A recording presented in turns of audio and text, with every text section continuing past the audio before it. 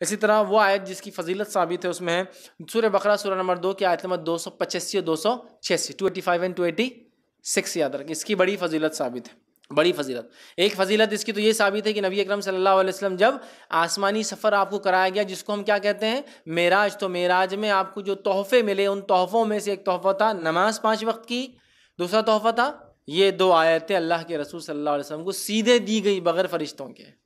ये दो आयतें वहाँ मिली थी आपको। कहाँ?